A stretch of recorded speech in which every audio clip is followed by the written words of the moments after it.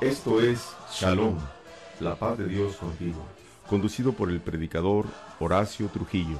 Shalom fue la voz de victoria del Señor, que significa la obra está hecha, la obra de reconciliación está terminada. Esto es la verdadera paz. Bienvenidos, esto es Shalom, Shalom.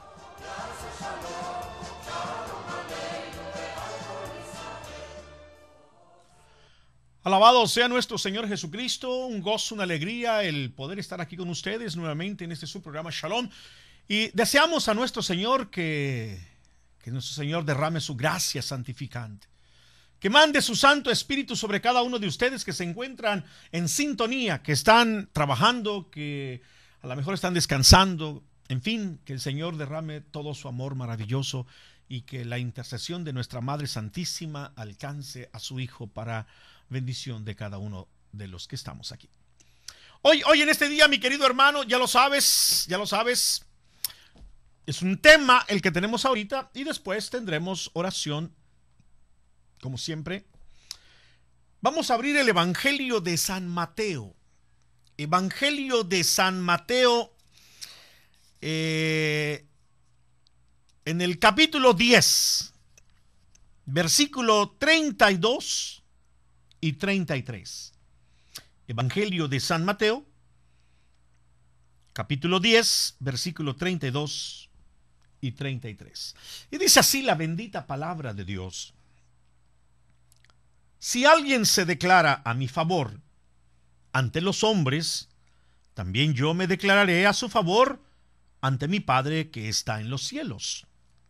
Pero si alguno me niega ante los hombres, también yo le negaré ante mi Padre que está en los cielos.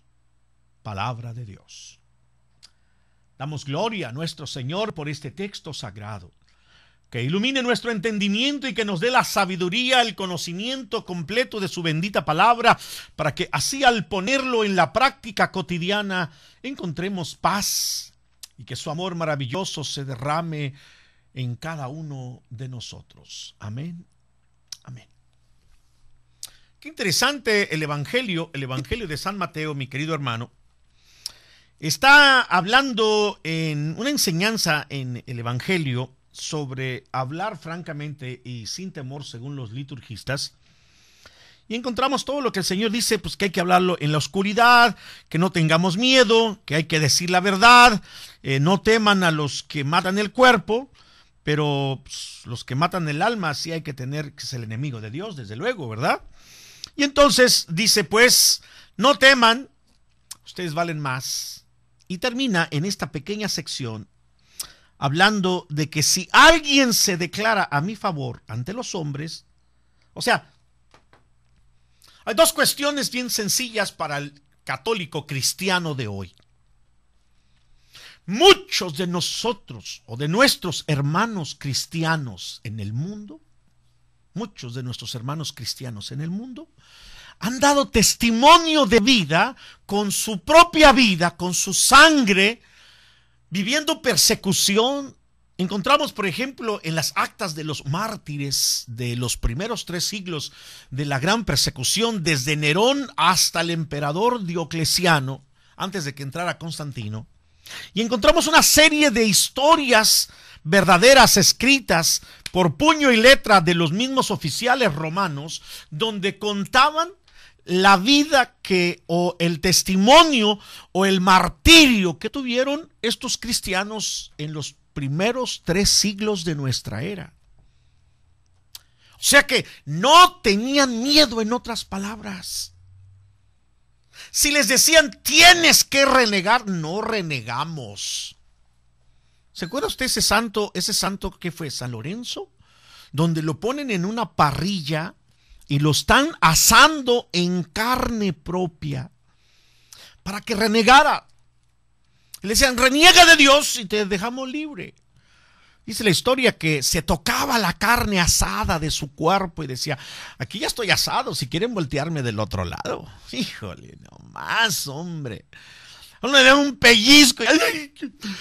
No existe Diosito, lo juro. No, hombre, con un pellizco ya andamos ahí correteando, ¿verdad? Entonces, esto nos da a nosotros una historicidad, una historia de la iglesia de tantos hombres valientes en las persecuciones de China, de Japón, en Corea, en España, eh, eh, las persecuciones de tan en Polonia, en México. Hombres y mujeres que, que estuvieron hasta la raya. Y entonces, en el mundo cristiano moderno, pues ha habido, ha habido mucho, mucho estado light. Estaba viendo en el Facebook, alguien lo puso porque no es, no es mío, pero yo se los paso al costo. Estaba viendo ahí que, que muchos cristianos, dice, somos como la Coca-Cola en sus tres estados que han presentado la Coca-Cola. Al principio, ¿se acuerda? Coca-Cola normal. Después vino Light y terminó en cero. Así hay muchos católicos hoy en día, ¿verdad? Muchos cristianos. Entrados ahí y de pronto se van haciendo light hasta que terminan en cero. ¿eh? Y entonces Jesucristo en este texto sagrado del Evangelio de San Mateo nos recuerda porque esto no es normal, esto no es, tampoco no crea que, que, que, nomás es de hoy, esto también ha sido de todos los tiempos, de muchos cristianos católicos mediocres, de muchos católicos donde no quieren comprometerse en nada en su parroquia, donde no quieren tomar acción y actitud de su responsabilidad de ir al catecismo donde todos los católicos tenemos una responsabilidad dentro de nuestros quehaceres cristianos en la vida social, tanto en la vida comunitaria como en la vida parroquial. Y entonces pululan muchos católicos mediocres que no quieren tomar su responsabilidad en su propia parroquia o en sus ministerios y servicios, pero quiere que Dios lo bendiga, pero no quiere tomar responsabilidad. Y entonces Jesucristo viene hoy a decirnos en este texto sagrado del Evangelio de San Mateo, nos viene a recordar y decir, si alguno se declara a mi favor ante los hombres, también yo me declararé a su favor ante mi Padre que está en los cielos. Pero si alguno me niega, entonces, ¿qué es negar? Negar a Jesucristo no es, bueno, negar a Jesús es decir, no creo en Él. Así como Pedro cuando estuvo con la criada y con los sirvientes en la, casa, del sumo sacerdote y que se dejó, se dejó avergonzar por una sirvienta. Ni siquiera por el enemigo mayor, por una sirvienta. Pues así nos pasa a muchos, ¿verdad? Así nos pasa a muchos de pronto. Andando en la calle, andando en la calle, a veces las sirvientas de Satanás, los sirvientes del enemigo, nos avergüenzan y nos hacen quedar en ridículo. ¿Por qué? Porque si yo soy cristiano católico, o esto va para todo el mundo cristiano, si tú eres adventista, presbiteriano, pentecostal o lo que sea. Pero a veces los enemigos de Dios nos avergüenzan y nos hacen quedar en ridículo cuando nosotros negamos a Jesucristo. ¿Se puede negar a Jesucristo? Abiertamente. No creo en Dios. Yo no creo nada de esas viaterías. A mí no me gusta. Está bien, eres ateo presumido, mediocre, porque también hay ateos de ateos, ¿verdad? Pero si tú eres católico cristiano, mi querido hermano, si a ti te bautizaron en la iglesia católica, si fuiste a tu primera comunión y a confirmación y tú eres un católico, pero no lo practicas, eres un católico mediocre. Pero no solamente haces quedar mal a la iglesia, sino a Jesucristo a tu propia fe, porque no dejas de ser, no deja de ser católico, porque luego de pronto eh, le dicen, oye, ¿qué vamos? No, no, yo, yo soy católico. en nombre de Diosito. Y, y, entonces, pero, pero no, pero se avergüenza, se avergüenza de proclamar que Jesucristo es su Señor. Mire, tan sencillo, le da vergüenza orar ante los demás. Le da vergüenza bendecir sus alimentos a la hora de comer.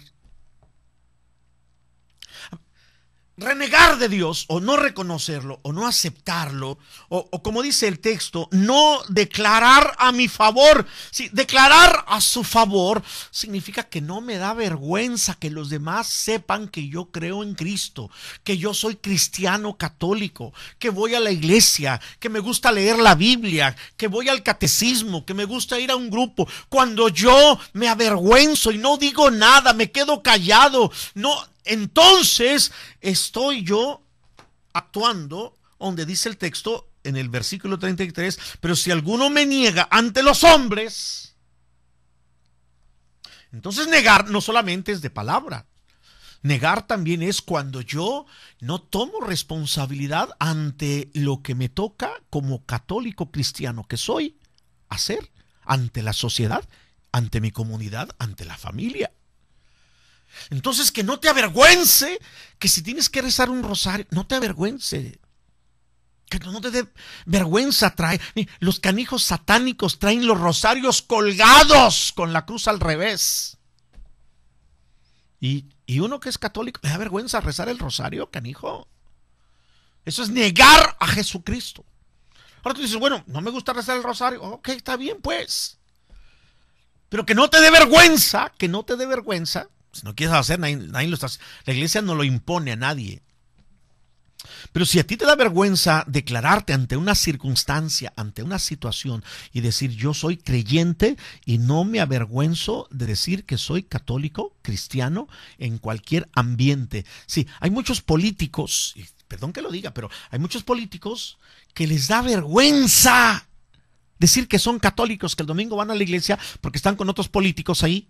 Les da vergüenza. ¿Por qué, te avergüenzas de que crees en Jesucristo? Si el otro no cree, oh, está bien, no vas a imponerles tampoco, pero, pero no tengas vergüenza, no tengas miedo de que eres un católico cristiano. Si tú eres policía, no te da vergüenza que sepan los demás que eres católico, que crees en Dios, que vas a la iglesia, porque así tienes que vivir estando en la policía, estando en el gobierno, estando en el pelotón del ejército, y tú eres cristiano, que no te dé vergüenza.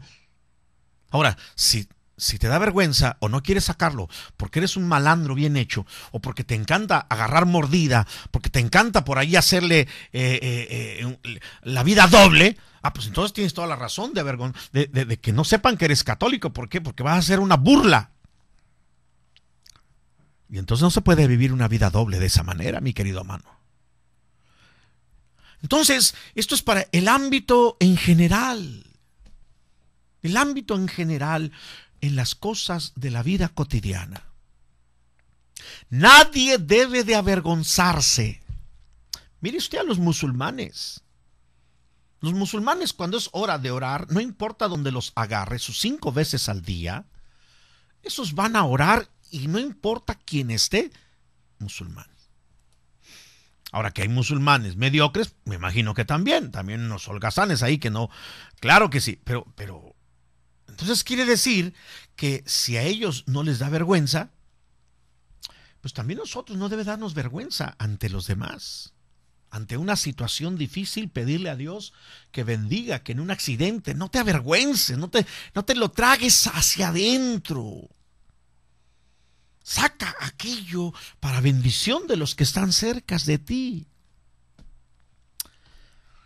Un hermano que se llama Miguel Ángel venía de Guadalajara a San Francisco a una misión de evangelización católica. Lo invitaron y, bueno, toma el avión de Guadalajara a San Francisco. Cuando cuenta él que ya llegando, antes de llegar, desde luego, hay un problema en el en la parte del aterrizaje, en las, en las llantas, el motor de aterrizaje no recuerdo el nombre para qué, porque no soy experto en eso, el tren de aterrizaje, que le llaman, está variado. No puede bajar. El automático se ha variado, se ha dañado. no hay manera de bajar.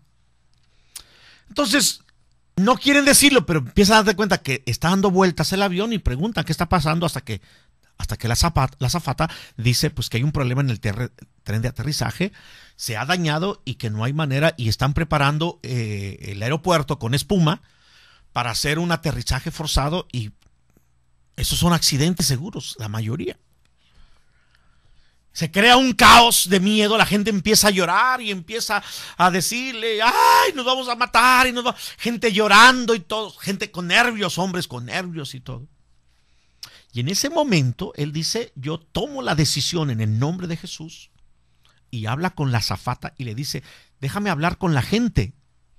Le dijo, no, no, no, tiene que sentarse. No, la gente está en un caos llorando, eh, déjame hablarles.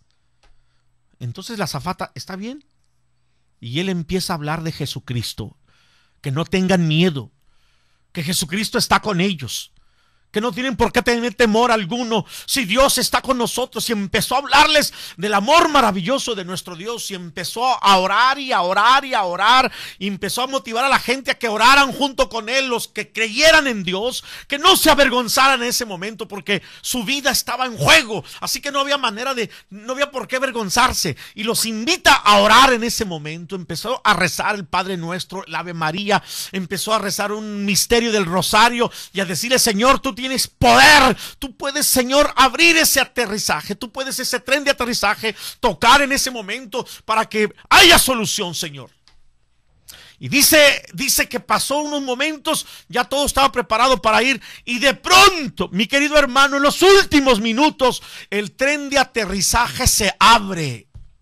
No hay explicación humana. Estaba dañado. No se podía bajar el tren de aterrizaje. Pero gracias a que un hombre no tuvo miedo, a que no se avergonzó, sino que lo proclamó y le pidió a Dios en público y motivó a aquellos a que creyeran en él, Dios hizo el milagro. Cuando bajan, la gente se acerca con él y le da las gracias. Y se acerca un hombre Y dice que él es ateo, que no creía en Dios, que de niño, pero se le olvidó, un hombre de negocios, rico. Y le dijo, gracias a usted que volví a creer en Dios. Mire lo que tuvo que suceder para que un hombre se le abriera el corazón gracias a un valiente que no se avergonzó de creer en un Dios poderoso, en un Dios grande y maravilloso, que puede cambiar la historia de un hombre en un abrir y cerrar de ojos, pero que necesita a alguien que haga lo que le toca hacer. Por eso no se avergüence, porque usted no sabe que a lo mejor esa circunstancia será la causa que alguien se bendiga gracias a la valentía de su fe, al no tener vergüenza, al no tener miedo, al declararse ante los hombres que usted es creyente. Y eso también le ayuda a mantenerse en su lugar, porque la demás gente sabrá que usted es una persona de Dios. La decisión es de cada individuo. La decisión es de cada uno. Cada uno tiene la libertad de aceptar o de no aceptar. El texto pues nos invita a cada uno. Si alguien se declara a mi favor ante los hombres, también yo me declararé a su favor ante mi Padre que está en los cielos. O sea que el día que se presente delante del tribunal de Dios, y Dios como justo juez estará ahí. Jesucristo como abogado estará a su favor, mi querido hermano. Jesucristo como abogado intercediendo ante el Padre. ¡Qué maravilla! Por eso San Juan dirá en su carta, hijitos míos, si alguno llegase a pecar, acuérdese que Jesucristo está a la diestra del Padre intercediendo por nosotros. Porque como abogado, como aquel que viene en ayuda nuestra, aquel que pagó por nosotros con su sangre preciosa y que nos guardó en sus divinas llagas para que ninguno se perdiera. Dice la carta a Timoteo. Dios quiere que todos se salven y que ninguno llegue a condenarse. No quiere la perdición de nadie, sino que tengan el conocimiento de Dios, todos encuentren el encuentro maravilloso del que puede cambiar la historia de la vida. Quizás alguien de pronto diga, ¿de qué sirve que yo me haya declarado si los demás no me hacen caso? Eh, no importa. Aquí no importa si te hacen caso o no te hacen caso. Si te quieren o no te quieren. Aquí lo que importa es que no te avergüences en el lugar donde te encuentres de que eres un católico cristiano. Rescatado con sangre preciosa, sangre sin mancha, Fuiste rescatado por la sangre de Jesucristo. Fuiste lavado por su sangre maravillosa como para que seas una gallina, un cobarde, estando en el mundo y te dé vergüenza que eres un cristiano católico. Entonces mejor renuncia. Entonces no vayas nunca a la iglesia. Ni te acercas a ninguna celebración de nada. Sino que tomes la decisión entonces, mi querido hermano. De ahí la necesidad entonces de poder decirle al Señor, Señor, aquí estoy, cuentas conmigo, dijo el profeta, heme aquí, Señor, mándame a mí. Aquí estoy para ayudarte. A lo mejor no tienes que ser un predicador o un cantante, o a lo mejor no vas a ser sacerdote, obispo. A lo mejor ni llegarás a ser monaguillo.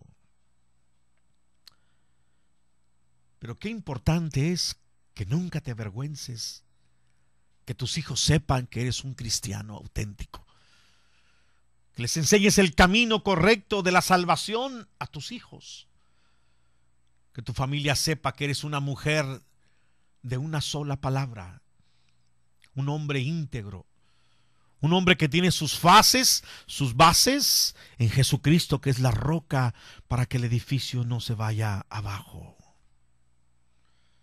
Por lo tanto, la decisión es tuya, mi querido hermano, hermana. Tú eres el que determina al final. No vaya a ser entonces que si alguien me niega ante los hombres, también yo le negaré ante mi Padre que está en los cielos. En otras palabras, mi querido hermano, te vas a rascar con tus uñas, solito. ¿eh? te vas a presentar ante el juez solo, sin abogado.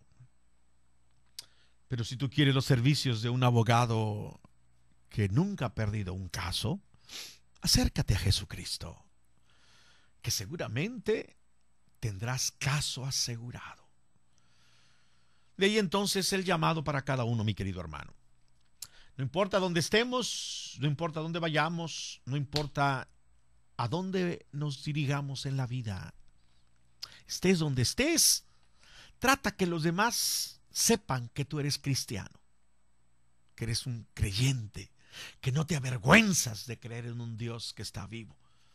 Que a veces no nos va como uno quisiera que nos fuera. Bueno, esa es parte de la vida. Eso, eso es independientemente. Me dijo una persona, pero si usted que sirve a Dios, mire, lo han robado, se le han metido a su casa. Eso no importa porque los malandros deciden por sí mismos, pero no querré estar en sus zapatos el día de su juzgamiento, a menos de que se arrepientan y entonces Dios me los perdone. Si ya me robaron, pero Dios los perdonó, ¿qué, qué le voy a hacer yo?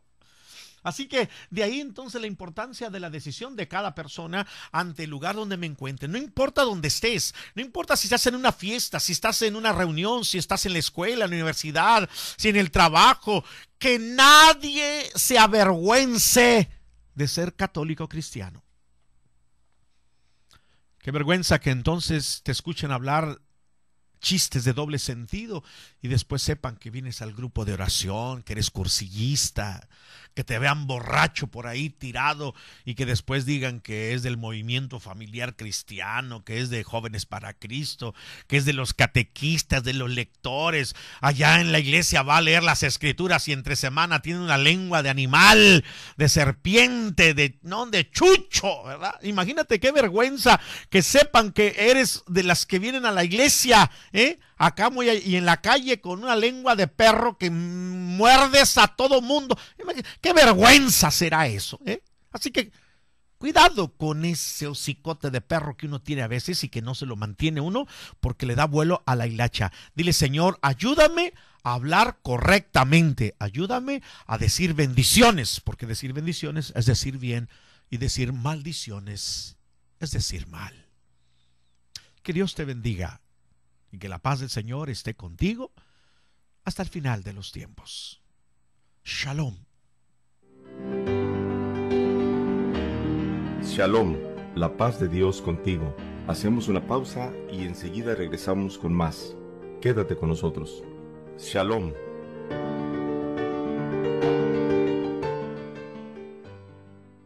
Horacio Trujillo ya está de regreso en Shalom, la paz de Dios contigo. Gracias por continuar en este programa.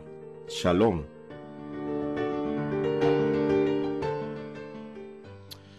Bueno, pues seguimos, seguimos aquí en este subprograma Shalom, la paz del Señor esté con cada uno de ustedes, mis queridos hermanos. y bueno, estamos aprendiendo, aprendiendo juntos. En este segmento que le hemos titulado, como usted ha escuchado algunas veces, ¿sabía usted?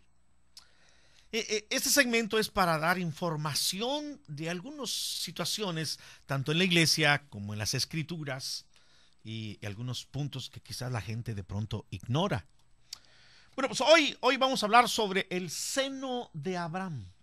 ¿Qué es el seno de Abraham? Porque mucha gente de pronto dice, bueno, es, el infierno, es un lugar de no sé dónde. ¿Qué es el seno de Abraham? ¿Dónde encontramos nosotros? Bueno, según San Lucas 16, 22, habla de un rico, el rico Pulón, y eh, Lázaro.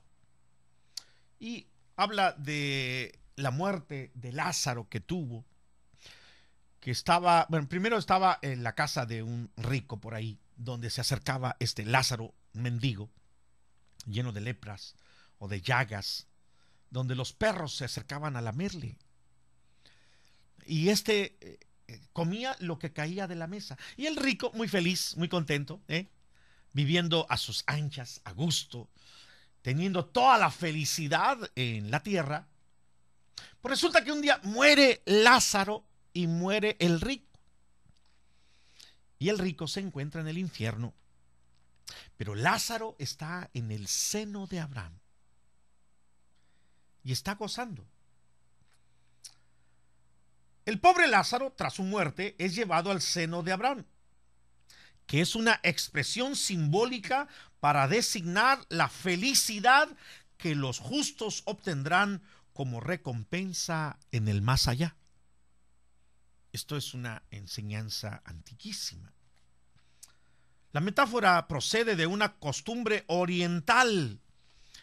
Es de oriente, no de occidente.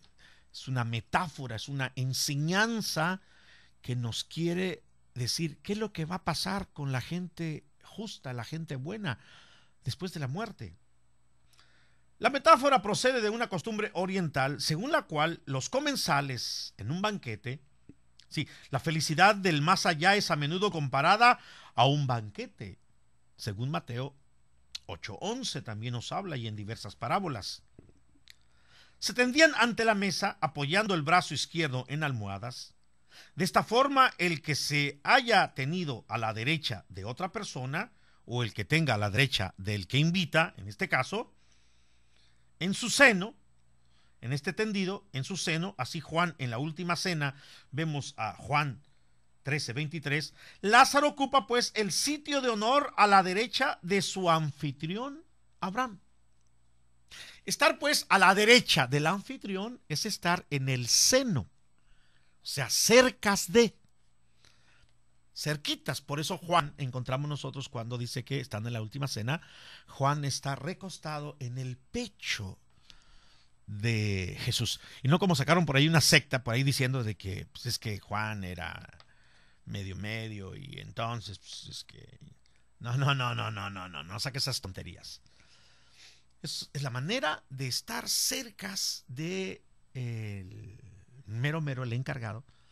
Y en este caso encontramos a Lázaro, que está a la derecha del anfitrión, y en este caso es Abraham, está en su seno. Lázaro ocupa pues el sitio de honor a la derecha de su anfitrión Abraham.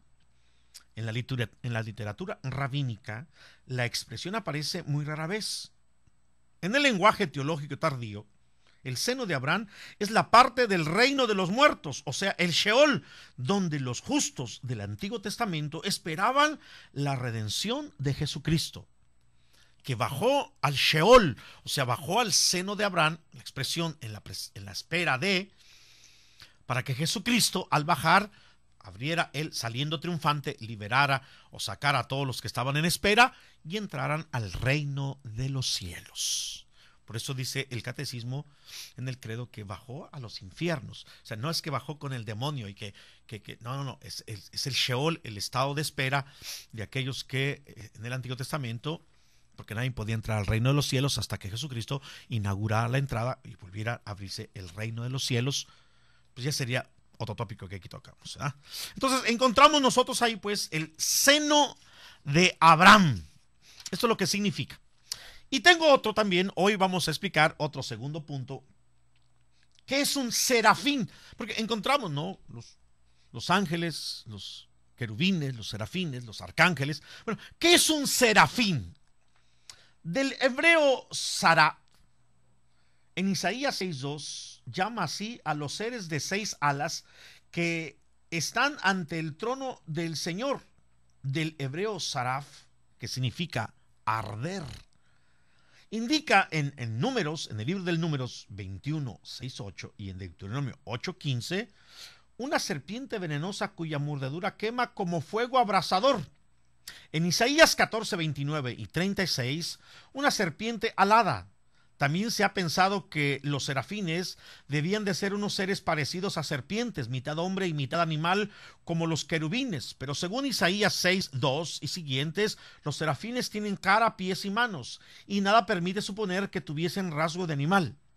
Si el nombre de serafín no les puede venir de ninguna relación con la idea de serpiente, entonces ese nombre nos daría a conocer su carácter igneo o purificador, ya que significa arder, para purificar en todo caso. Así son mencionados juntamente con los querubines y otros seres de naturaleza angélica.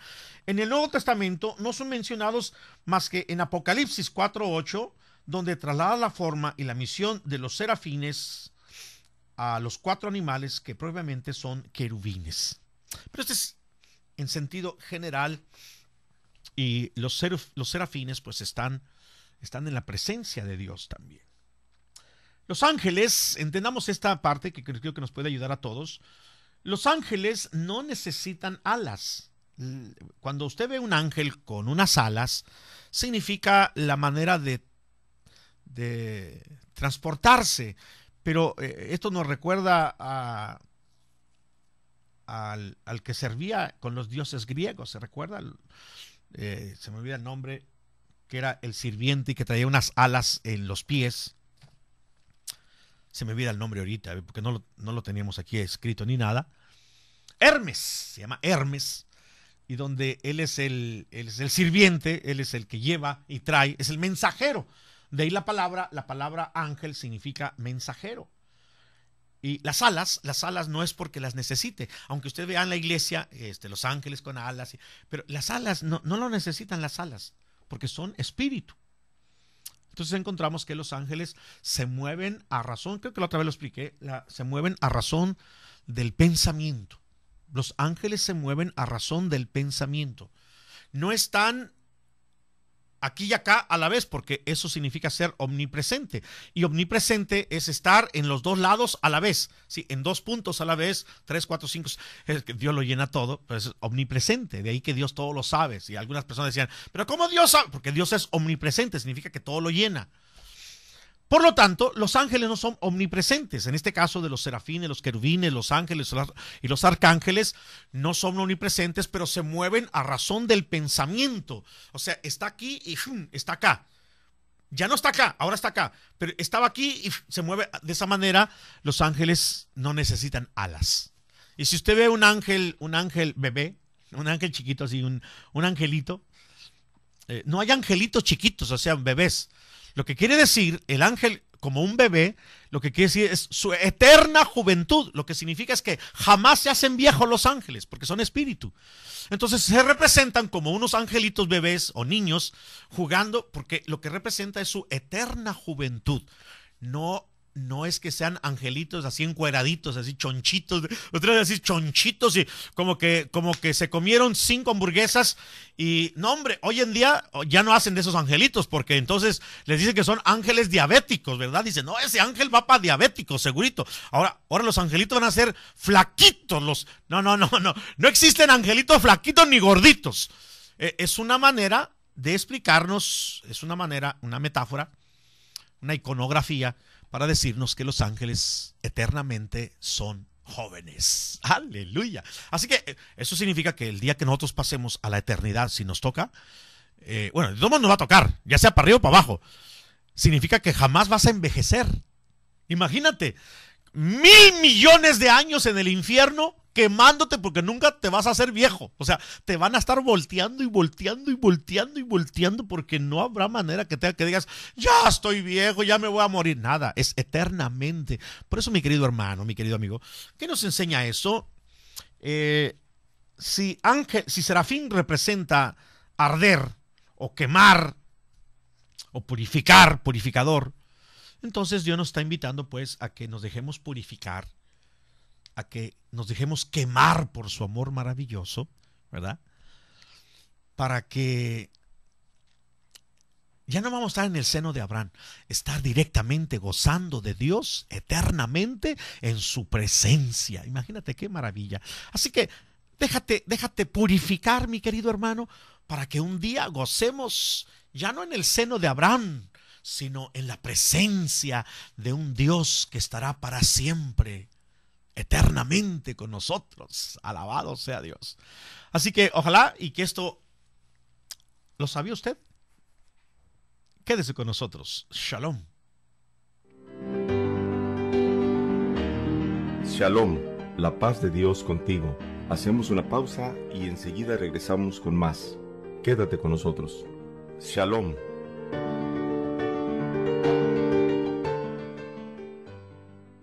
Regreso en Shalom, la paz de Dios contigo. Gracias por continuar en este programa. Shalom. Alabado, alabado sea su nombre, que su nombre sea famoso sobre toda la tierra. Es el deseo de nuestro corazón que nuestro Dios sea conocido en todos los ámbitos.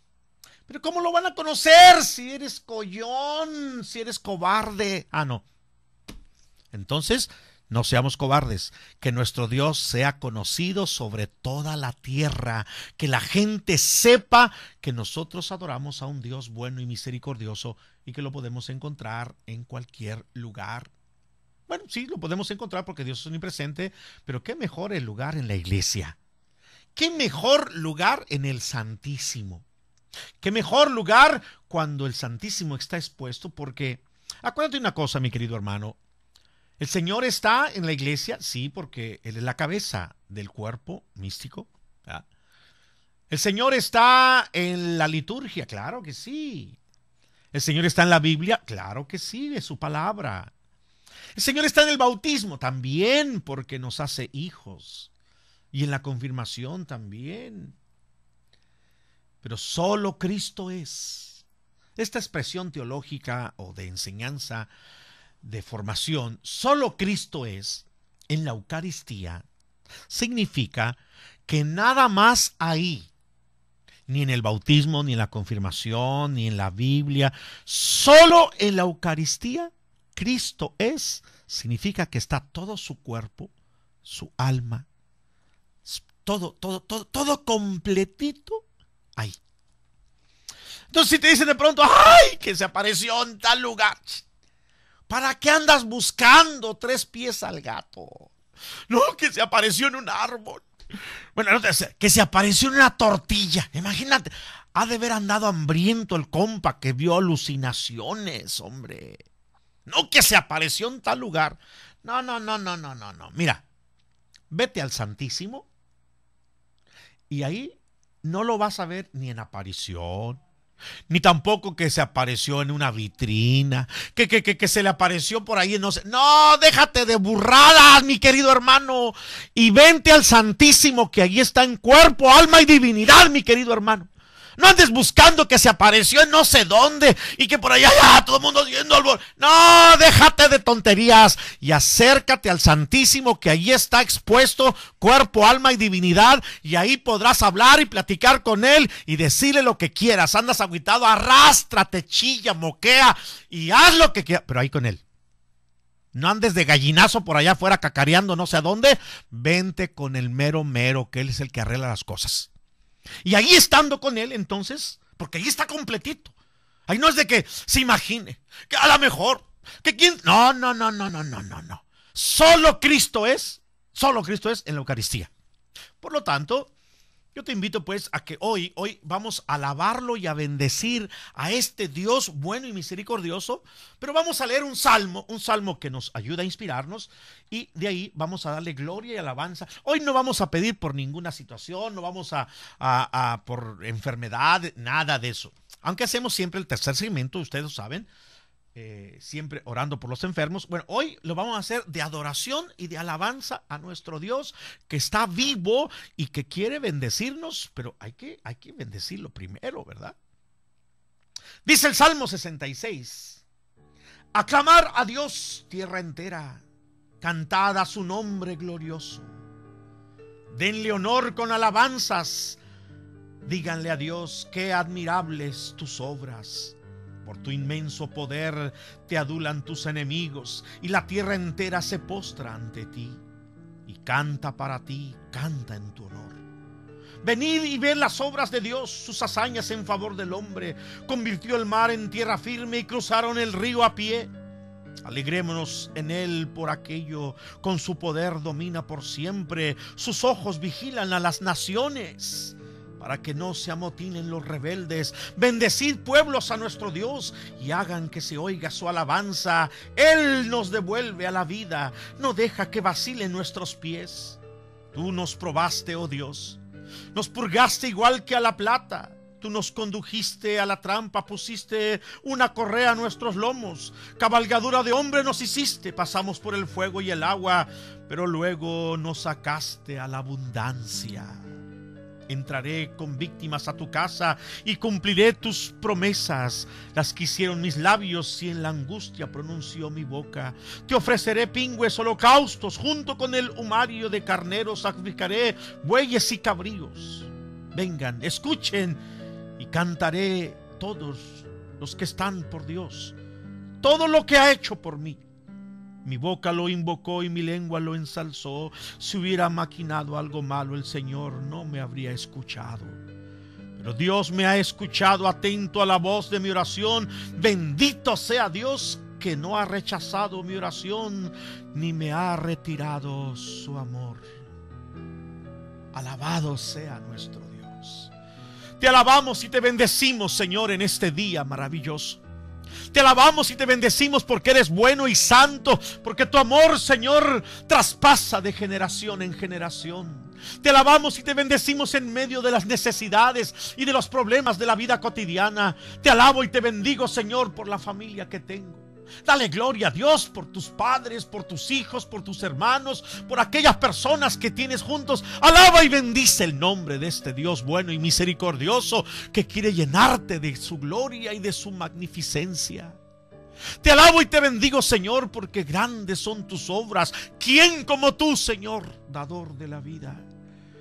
Que a ti se acercaron y nunca despreciaste a aquel que se arrepintió que nunca, Señor, rechazaste al pecador, antes bien deseabas que se arrepintiera para que no se condenara. Te alabo y te bendigo por tu misericordia. Porque grandes son tus obras maravillosas en la tierra y en el hombre. Te doy gracias por lo que has hecho, Señor, en la casa de aquel que se arrepiente bendito y alabado seas. Te damos gloria y alabanza porque en medio de la catástrofe, en medio, Señor, del diluvio, en medio, Señor, de los ciclones, podemos encontrar tu gloria y en medio de la maldad podemos encontrar tu amor maravilloso. Por eso te alabo y te bendigo, Señor. Te doy gloria porque aún en las enfermedades y en los problemas de la vida, yo quiero alabarte y bendecirte. Porque mi boca no renegará ningún momento, Señor, ante los problemas en la vida. Antes bien agradeceré porque será causa para poder crecer en tu gloria y en tu bendición. Gracias pues, Señor, aún en medio de la dificultad económica. A lo mejor quizás estás pasando en este momento por situación difícil económica, mi querido amigo, hermano. ¿Por qué no le das gloria a Él? Porque seguramente que algo bueno va a venir. Porque todo lo que sucede sucede para bien de los que aman a Dios, dice su bendita palabra. Y todos los que se acercaron a Él jamás los abandonó y nunca dejó que seamos avergonzados por nadie. Gracias pues te alabo, Señor, y te bendigo. Por aquellos valientes que nunca se echaron para atrás. Pero si alguno se echó para atrás, este es el momento para volver a echar adelante. Este es el momento para levantar la cabeza. Ya no es tiempo de estar tirado en el fango ni revolcándose entre el chiquero de los puercos, sino hay que levantarse como el hijo y volver a la casa del padre, que seguramente con sus brazos abiertos estará esperando que su hijo que se fue, que el hijo que se perdió, que el hijo que murió, ha vuelto a la vida y ha sido hallado. Ven pues y regresemos a la casa del Padre juntos, porque seguramente que habrá fiesta Démosle gloria y alabanza al Señor, que su grande misericordia alcanza de generación en generación y no importa la maldad, sino el deseo de volver a su casa. Te doy gracias, Señor, te alabo y te bendigo, pues. Por aquellos que yendo de camino se equivocaron, han enderezado sus pasos y han vuelto a la senda bendita y se han encaminado a encontrarse contigo que devuelves la felicidad. Ponga pues mi Señor unas sandalias, un vestido y un anillo nuevo al que estaba muerto y ha vuelto a la vida, al que se había perdido y ha sido hallado de nuevo. Gracias Señor Jesús. Gracias por tu amor maravilloso, por aquellos que de alguna manera hoy, al encontrarse contigo, Señor, en tu presencia, seguramente que abogado serás para ellos que confiaron en ti y que justamente, Señor, los recibirás para decirles, benditos de mi Padre, vengan a gozar la vida eterna. Te alabo y te bendigo, Señor, por aquellos que oportunidad tenemos aún en tierra, para que un día, Señor, a encontrarnos ahí, podamos entrar para gozarnos eternamente contigo. Gracias pues, Señor. Te doy gloria y alabanza por todos mis sacerdotes, amigos y hermanos, por aquellos sacerdotes que han muerto en la batalla, por los que están trabajando, por aquellos obispos que dirigen su comunidad de sacerdotes en sus diócesis, por aquellos arzobispos y cardenales, y por Francisco, para que lo dirijas como Santo Padre en la iglesia y que lo colmes de bendiciones para que dirija un rebaño grande para tu gloria, Señor. Gracias por tu amor maravilloso, Señor, porque seguramente seguirás bendiciendo a todo el que invoque tu nombre. Amén.